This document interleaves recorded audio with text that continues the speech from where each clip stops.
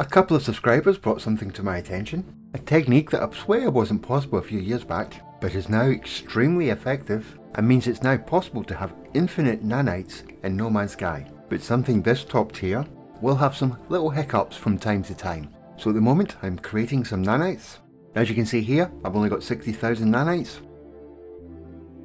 But let's create some more nanites. After extensive testing, one of the things you should do is not go over the 4000 nanite mark because that seems to increase the chances of them disappearing. It's not a major issue, it's just a major inconvenience, as you have to process the nanites again. 3910 nanites, that's perfect. I've got 5 additional portable refiners. Let's carefully line up the first one, so they perfectly blend together. Doesn't have to be 100%, but as close as possible. Then without moving, place the other 4.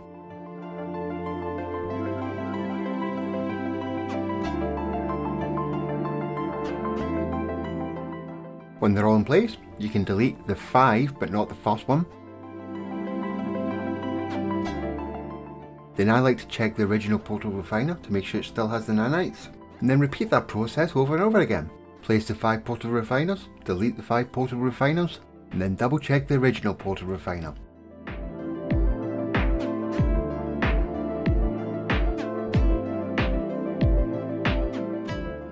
And if you pay attention to the top right corner, you can see I'm getting some carbon, some nanites, just under 20,000 at each time, and of course the 5 portal refiners. I'll do that a few more times, then you can see how much I got.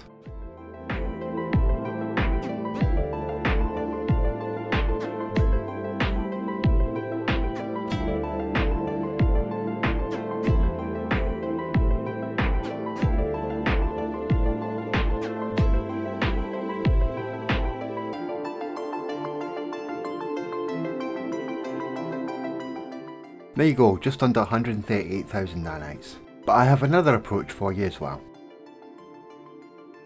For the second technique, pull a wire like I'm doing right now. Now we're going to wire glitch a portable refiner to the end of the wire by selecting the portable refiner, going into the wire menu, highlighting the electrical pickup points and hitting wire and place at the same time. Platform buttons are in the bottom left hand corner now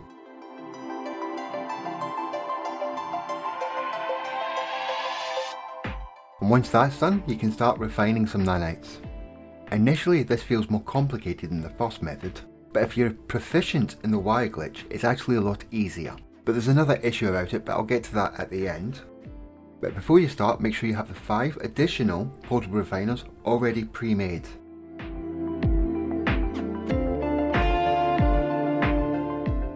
To save time, I'll just stick with this one little batch of nanites.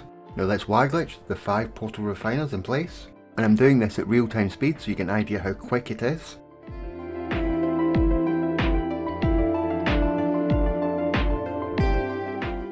Once you've glitched the 5 portable refiners in place, delete the 5 portable refiners.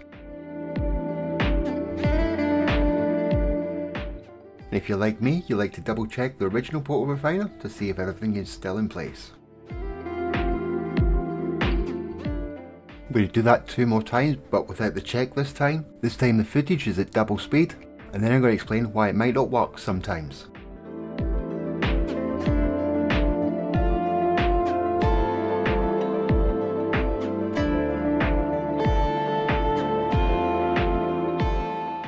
You see here, this is the point it went wrong. I glitched in an additional portal refiner. The way the wire glitch works, it creates the item for free, it also means it wipes out the stored nanites. You still get all the nanites you duplicated, you just have to refine another base batch again. So this method is quicker, more efficient, but does come with that slight higher risk. I hope you liked the video, and if you did, hit that like and subscribe button, oh, or on the bell thingy. And of course, thank you for watching. See you all later.